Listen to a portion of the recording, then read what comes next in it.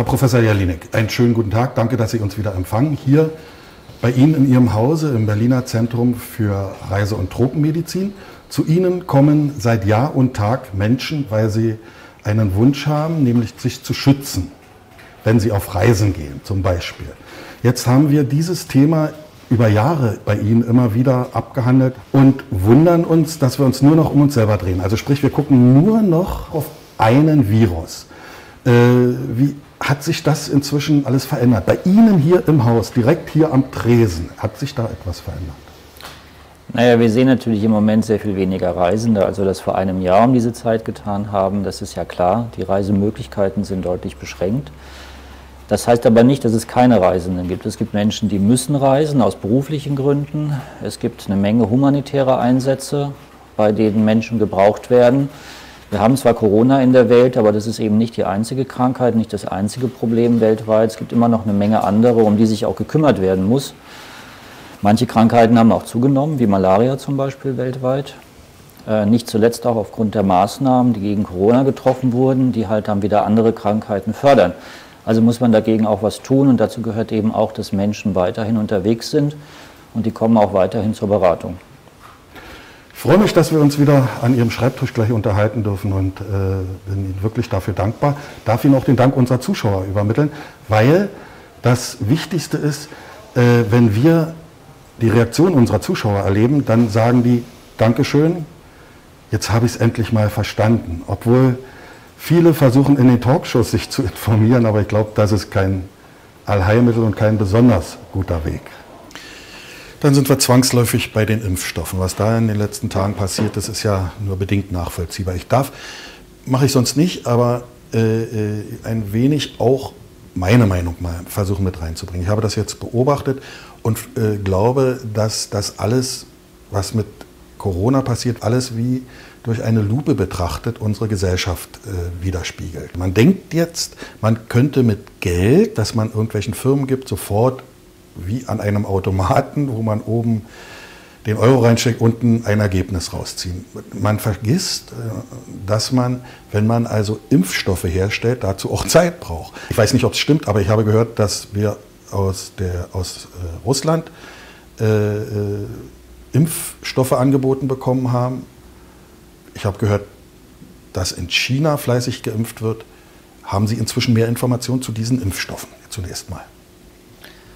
Es gibt ja in vielen Ländern Impfstoffentwicklung, nicht nur in Europa. Und ähm, manche Länder haben auch früher angefangen als wir zu impfen, zum Teil auf der Basis von Daten, die bei uns als äh, unzureichend gesehen würden. Also wir haben ja sehr strenge Regeln für die Zulassung von Impfstoffen. Man muss halt durch die ganzen klinischen Prüfungen durch bevor ein Impfstoff quasi auf die Menschheit losgelassen werden kann. Das hat auch seinen Grund. Man will natürlich, eine Impfung wird ja durchgeführt bei gesunden Personen, man will die hinterher nicht kränker machen, als sie vorher waren. Das wäre ja, wär ja einfach schlecht.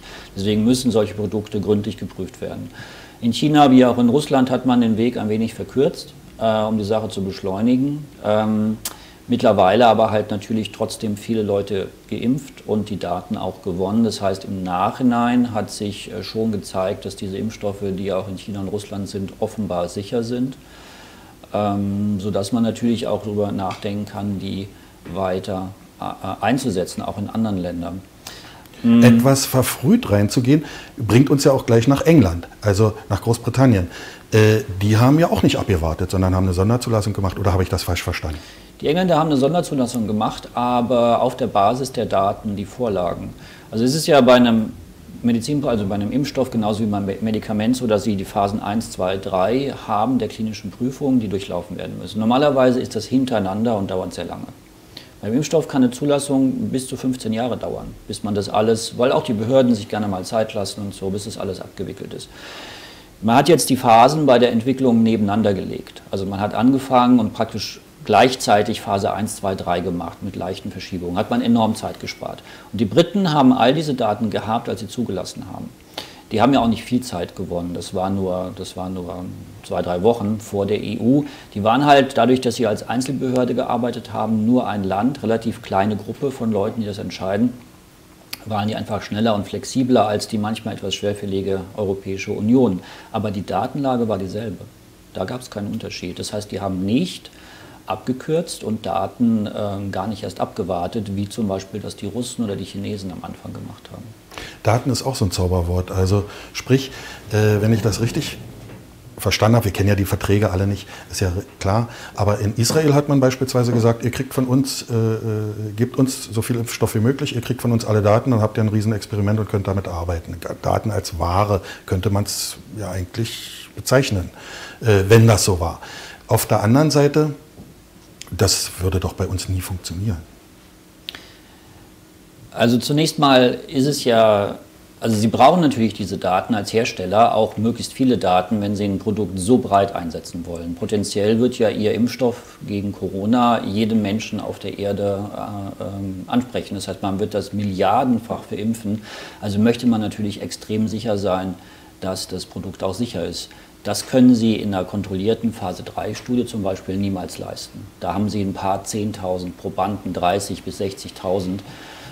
Ähm, aber wenn Sie ein ganzes Land durchimpfen, haben Sie einfach viel mehr Daten. Und das ist wichtig, um die Sicherheit äh, eben wirklich belegen zu können. Gerade auch um Zweiflern, Skeptikern auch valide Argumente entgegenhalten zu können, dass das Produkt sicher und effektiv ist. Dafür braucht man diese Daten. Und wenn dann ein Land schnell ist und sagt, pass her, ihr könnt das bei uns auswerten, dann ist natürlich dem Hersteller sehr gewonnen sehr, also er, er hat davon einen großen Profit und dann äh, lässt er sich auch ein auf eine schnellere Produktion. Sie sagten eingangs, dass man enorm äh, Geld angefasst hätte und das Gefühl hätte, man könnte die Impfstoffe quasi aus der Maschine ziehen. Das ist sicher nicht so. Impfstoffe müssen mit einem gewissen Aufwand produziert werden.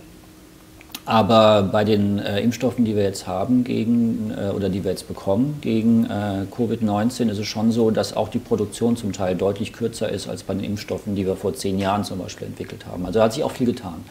Die Abstände sind verkürzt. Und es ist schon so, dass Geld natürlich hilft. Weil sie, wenn sie viel Geld haben, um äh, ihre Investitionen tätigen zu können, können sie natürlich schneller arbeiten, sie können äh, großvolumiger das Ganze anlegen, sie können die Fabriken entsprechend äh, hochskalieren und das hilft natürlich am Ende auch der Produktion. Und da ist natürlich bedauerlich, dass von Seiten der Europäischen Union da offensichtlich am Anfang ähm, zögerlich gehandelt wurde und die Verträge vielleicht nicht ganz so abgeschlossen wurden, wie man das im Nachhinein sich gewünscht hätte. Sind wir bei den Impfstoffen, fangen wir einfach an. Wir hatten es ja, eigentlich haben wir indirekt schon angesprochen, den von Biotech. Äh, wie ist der? Wie, wie, wie, wie, wie, der ist sicher, der ist gut, der wirkt. Wie wirkt er, wie sicher? Also wir haben ja im Moment zugelassen drei Impfstoffe in Europa. Davon sind zwei äh, sogenannte mRNA-Vakzinen, die basieren auf der Boten-RNA. Äh, RNA ist die Erbinformation des Virus, auf der äh, die Informationen kodiert sind, die das Virus quasi zum Vermehren bringen. Und das M ist ein, ein, äh, eine besondere Art der RNA, die eigentlich in unserer Zelle auch benutzt wird, um vom Zellkern in die Peripherie der Zelle zu gehen, um dort bestimmte Produkte zu produzieren. Das ist wie ein Bote, der vom Feldherrn, der auf seinem Hügel steht, losgeschickt wird, um eine bestimmte Abteilung in der Schlacht halt zu bewegen. Das ist diese mRNA. Und diese Funktion in der Zelle benutzt man, um äh, Erbinformationen des Virus, ausgewählte Informationen zur Oberfläche eben in die Zelle einzuschleusen und dann die Zelle dazu zu bringen, dass sie diese Information und nur diese, nur dieses Bruchstück produziert. Das heißt, die Erbinformation der Zelle im Kern wird überhaupt nicht verändert. Es geht nur in der Peripherie der Zelle, dass der Effekt einsetzt. Und die mRNA ist auch nur relativ kurzwirksam. Die wird dann abgebaut.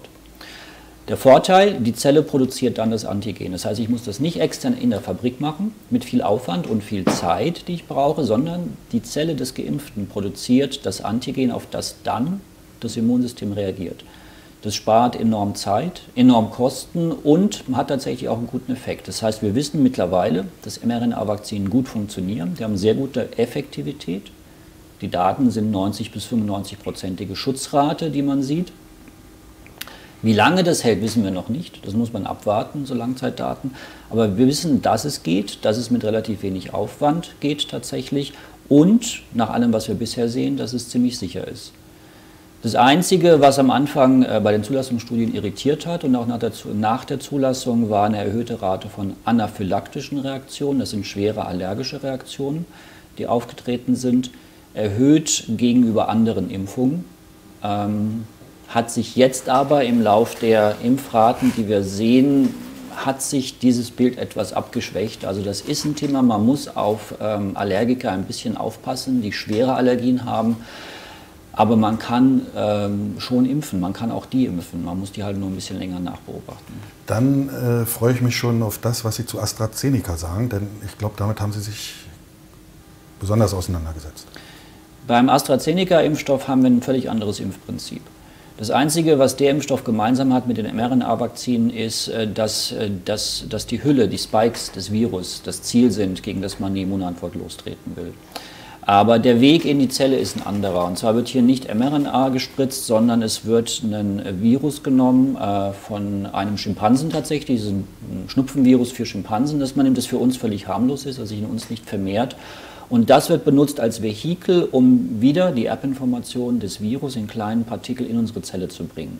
Das heißt, der Endeffekt, der letzte Schritt ist derselbe. Die Zelle produziert dieses Antigen und damit wird die Immunantwort losgetreten. Aber der Weg in die Zelle ist ein ganz anderer. Es geht nicht über diese fertige mRNA, sondern über diesen Adenovirus-Vektor, der das, äh, die Erbinformation in die Zelle einschleust. Das ist deswegen äh, attraktiv, weil wir das schon kennen. Äh, ein Impfstoff gegen Ebola, der in den letzten Jahren zugelassen wurde, funktioniert auf demselben Prinzip. Das heißt, wir wissen, dass es geht. Ein bisschen das Problem ist, dass das Immunsystem möglicherweise gegen den Vektor, gegen das Adenovirus selber eine Immunantwort aufbaut und das scheint auch der Fall zu sein. Und wenn das passiert, dann wird dieser Impfstoff quasi abgewehrt, bevor er überhaupt seine Informationen in die Zelle bringen kann. Und dadurch wird die Effektivität der Impfung schwächer. Das scheint der Fall zu sein. Die Impfung muss ja zweimal gegeben werden. Und wir sehen, dass in manchen Studiensegmenten, die gemacht wurden, äh, die Effektivität zu leiden scheint, weil Menschen offenbar auf die erste Impfung mit einer Reaktion gegen diesen Vektor ähm, reagieren. Aber das sind alles noch sehr schwammige Daten, die man einfach wird weiter untersuchen müssen. Leider sind die äh, Studiendaten von AstraZeneca ähm, noch nicht so umfangreich, dass man wirklich zu allen Details Antworten hat. Aber man muss auch zweimal impfen. Man muss zweimal impfen. Und der Transport ist leichter. Der Transport, das ist der große Vorteil. Äh, die mRNA-Vakzinen sind grundsätzlich attraktiv, aber eine von den beiden, eben die von BioNTech, muss bei logistisch sehr schwierigen Temperaturen, nämlich minus 70 Grad, gelagert werden. Das macht große Probleme und, für, und dann sind das so kleine Sammelampullen, die, wenn sie einmal aufgetaut werden, worden sind, halt natürlich auch verimpft werden müssen. Wenn sie zu lange warten, dann ist das ungültig. Und deswegen wird auch äh, unglücklicherweise immer wieder Impfstoff verworfen, mhm. weil halt was in den Ampullen übrig ist und man dann keinen hat, den man es impfen kann. Und das ist natürlich bei dem Bedarf, den wir im Moment haben, schlichtweg großer Mist, muss man sagen. Also brauchen wir Impfstoffe, die wir leichter lagern können, möglichst im Kühlschrank. Und da ist äh, der Impfstoff von AstraZeneca zum Beispiel viel attraktiver. Der von äh, Moderna ist auch etwas stabiler, der kann auch im Kühlschrank äh, zumindest vorübergehend gelagert werden. Also da müssen wir eigentlich hin, dass wir Impfstoffe kriegen, die wir auch im täglichen Leben quasi in den Arztpraxen einsetzen können. Wissen Sie schon über die Dinge, die in der Pipeline sind, etwas, beispielsweise Johnson Johnson? Der Impfstoff von Johnson Johnson ist, ist tatsächlich ziemlich attraktiv. Ähm, die Studien sind ja in den USA gelaufen, überwiegend. Ähm, was wir sehen, ist, dass es einmal ein Impfstoff ist, der nur einmal gegeben werden muss, was natürlich das ganze, die ganze Umsetzung sehr viel leichter macht. Das Prinzip ist dasselbe wie beim AstraZeneca-Impfstoff. Also auch hier wird ein Adenovirus genommen, ein anderes, aber auch ein Adenovirus, das die Information in die Zelle einschleust. Vorteil, wenn Sie es nur einmal geben, das Immunsystem des Geimpften kann darauf keine Antwort ausbilden auf den Vektor, die den dann neutralisiert, weil es lernt ihn ja gerade erst kennen. Das heißt, dieser Effekt, der bei der AstraZeneca, bei der zweiten Impfung droht, der ist bei Johnson Johnson nicht. Man muss halt nur hoffen, dass die eine Impfung dann auch wirklich effektiv genug ist. Aber das ist ein sehr spannendes Produkt, das wir wohl auch ziemlich bald in Europa zugelassen bekommen werden. Und dann gibt es eine ganze Welle von Next-Generation-Impfstoffen, die auf äh, Proteinen basieren, also einfach ähm, Eiweißstückchen, die gegeben werden. Das ist eine Art der Impfung, die wir sehr gut kennen. Das machen wir schon ganz lange. Die werden mit einem äh, Wirkstoffverstärker, einem sogenannten Adjuvans, versehen, damit das Immunsystem darauf reagiert. Ähm, Das funktioniert gut, das wissen wir. Und das, da werden wir sicherlich einige äh, Vakzinen kriegen. Nachteil, Sie müssen dann das Antigen in der Fabrik produzieren. Das heißt, übernimmt der Geimpfte nicht diesen Teil des Jobs, sondern man muss das Antigen quasi extern fertig machen, dann spritzen und dann gibt es die Immunreaktion. Aber wir wissen, dass es funktioniert. Nun gibt es die Altersdiskussion. Sie haben mich ja vor einem Jahr schon mal darauf hingewiesen, dass ich 100% Zielgruppe bin äh, in, mit meinem Alter. Aber die Frage ist, je älter man wird, je schwächer wird das Immunsystem. Das weiß man. Äh, muss man dann Impfstoff anpassen oder, oder, oder, oder ist das jetzt Unsinn, dass man sagt, mit den 65 Jahren, abgesehen davon, dass da auch noch ein Haufen Missverständnisse produziert wurden. Also das heißt, äh, äh wie sieht es da aus im Alter? Das Immunsystem im Alter ist äh, langsamer und potenziell auch schwächer als beim jungen Menschen. Das ist der Grund, warum im Alter zum Beispiel auch mehr Leute an äh, dem neuen Coronavirus erkranken und wir da auch eine höhere Todesrate haben. Das ist halt, die Abwehr ist nicht mehr so gut. Das bedeutet auch, dass das Ansprechen auf Impfstoffe schlechter sein kann. Das sehen wir bei ganz vielen verschiedenen Impfungen. Und äh, das ist natürlich auch gut möglich, dass es bei den Corona-Impfungen der Fall ist. Hm, wissen tut man das erst, wenn man es auch getestet hat. Und da ist es natürlich im Moment so, dass wir bei Altersgruppen jenseits der 65 nur sehr begrenzte Daten haben. Für alle Impfstoffe, aber ganz besonders zum Beispiel für die AstraZeneca-Vakzine. Deswegen ist die zwar zugelassen ab 18 von der Europäischen Union, aber ich, äh, in Deutschland wurde von Anfang an gesagt, dass man äh, zumindest jetzt am Anfang warten will, bis man das jenseits der 65 einsetzt, bis man mehr Daten hat ist zu erwarten, dass die Wirksamkeit schlechter ist im Alter. Wie viel schlechter, weiß keiner. Das muss man sehen. Manchmal wird man aber auch positiv überrascht. Wir haben äh, zum Beispiel einen Impfstoff gegen Gürtelrose. Das ist ja ein typisches Problem beim älteren Menschen, wo man äh, überraschenderweise dann eine sehr gute Effektivität gefunden hat, als der zugelassen wurde. Weit besser, als jeder erwartet hat. Also es ist nicht automatisch so, dass die Impfstoffe immer schlecht sind bei älteren Menschen. Man muss halt nur den richtigen Impfstoff haben dafür. Die Gürtelrose war früher für alte Menschen eine Geisel, ne? Ja. Kann man so sagen. Und die kann man jetzt ähm, effektiv durch die Impfung ähm, beseitigen, fast, muss man sagen.